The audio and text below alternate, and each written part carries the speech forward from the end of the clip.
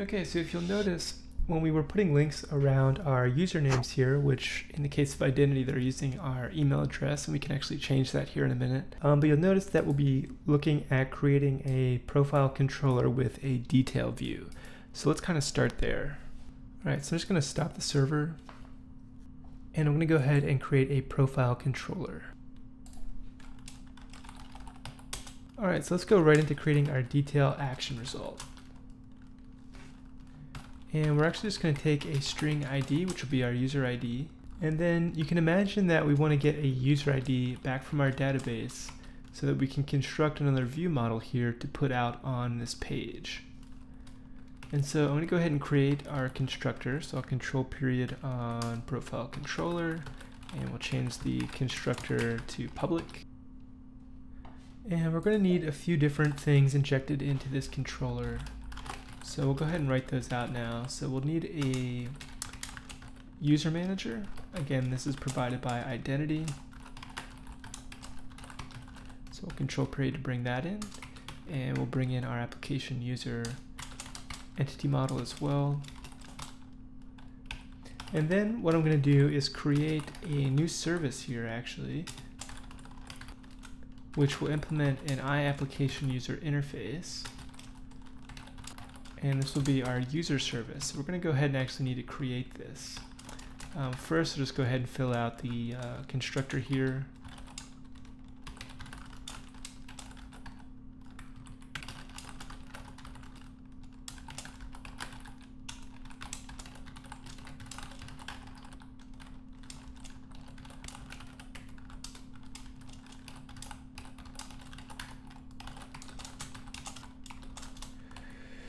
And while we're at it, might as well just go ahead and let you know that we'll be building one more service here, and this will be our upload service.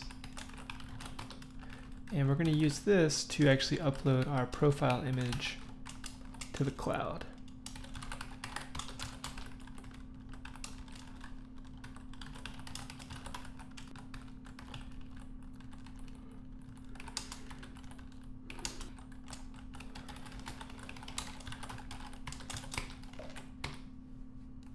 So now we definitely have some files to create here.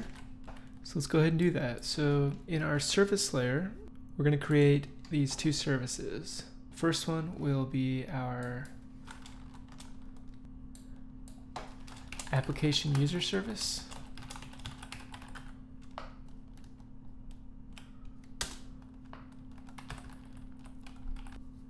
And the next one will be our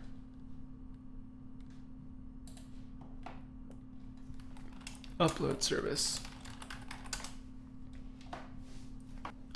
So then in our data layer, we'll go ahead and add these new interfaces that the services will implement. So in one case, iApplication user, and we'll go ahead and make this public. And we'll add another one will be iUpload. And we'll make this public as well, of course.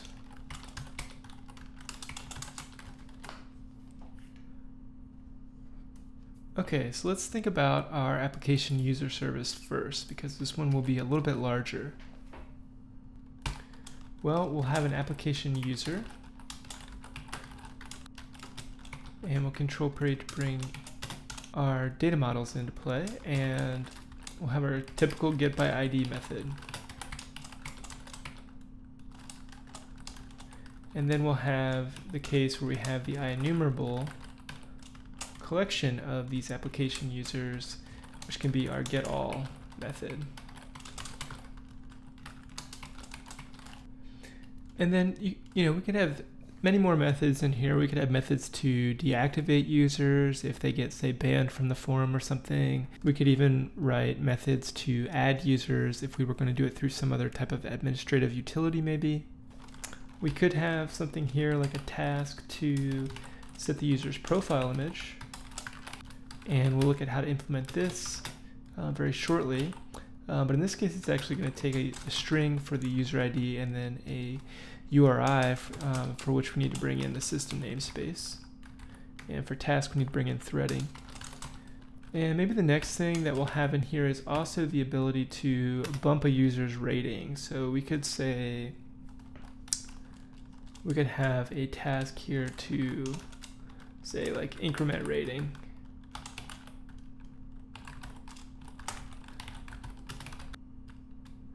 And we'll pass the user ID again here. Um, we can just call it ID. And then the way that I'm going to handle this is actually, we're also going to pass it a type. Um, and you may be wondering why, um, but the reason for this is, and we'll look at this again in just a few moments,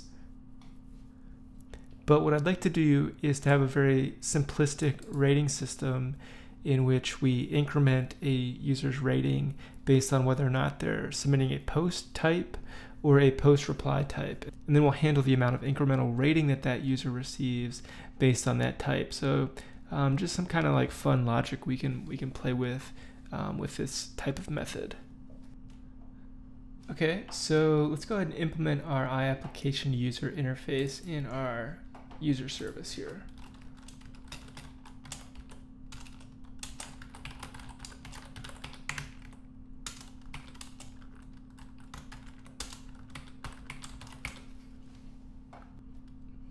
And so we've seen a number of different services now, so I'm going to kind of breeze through this one a little bit more quickly um, without explaining quite as much, but this should be very similar um, to other services that we've created.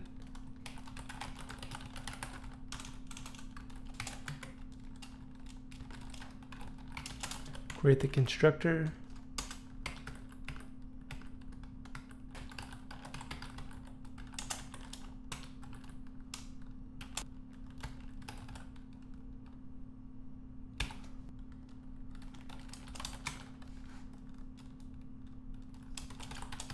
And then if we want to get by ID here, we can just get all and then call first or default.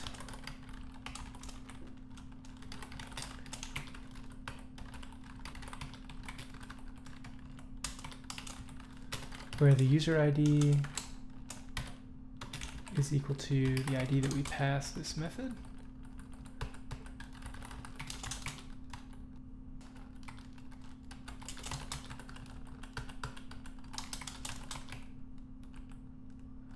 And we'll worry about the increment rating here a little bit later.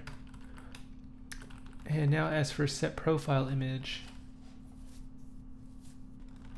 the way this is going to work is we'll get the user um, just by their ID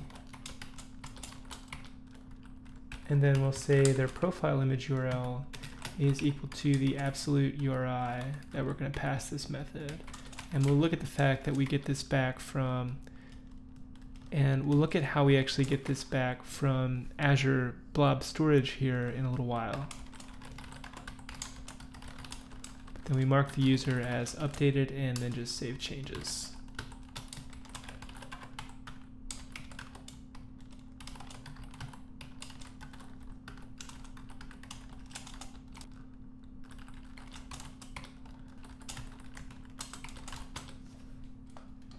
All right, cool. So now it's a good time for a commit probably.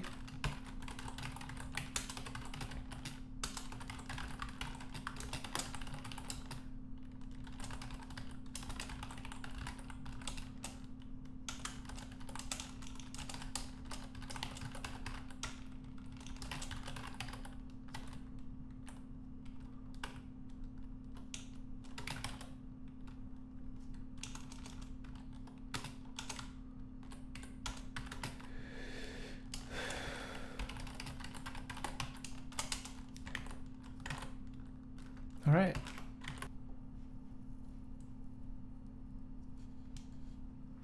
So let's head back into our profile controller now. And we should be able to control period to resolve some of these um, usings. All right. So now on our profile detail, we will indeed be returning a model. And that model will be a new profile model. Let's go ahead and create that. So that's going to be in our models directory in our web directory in our web project. And I'm going to create a new folder for them.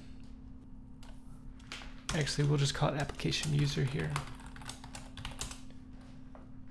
and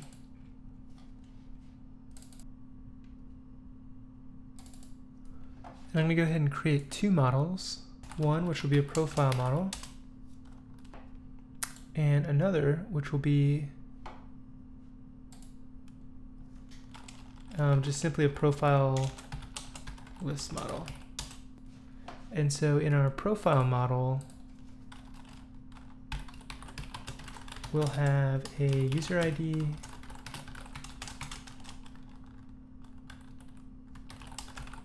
email, uh, username, user rating, profile image URL, and then we'll have a date time for when the like we'll member since um, so this would be set when a user actually joins and then I'm going to also include this iForm file field called image upload. And we'll get and set that here. We're just going to include this with the profile model. And we'll bring in ASP.NET Core HTTP and we'll look at how we're going to use that but this is actually going to make uploading images from a form um, very easy for us